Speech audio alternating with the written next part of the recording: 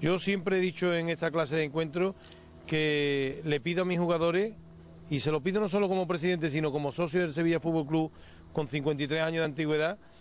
que todo lo que tengan dentro lo vuelquen en el terreno de juego. Aquel que no haya vivido un derby, y aquí hay varios que no lo habéis vivido,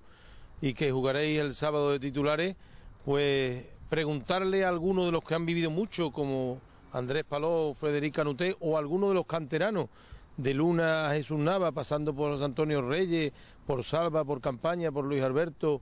por Facio, Diego Perotti, que también lo han vivido en los escalafones inferiores, o por Javi Vara, qué es lo que supone un derby para el aficionado sevillista. Por eso a mí me gustaría eh, que fuerais conscientes de que el sábado hay que darlo todo en el terreno de juego, como si se terminara el mundo.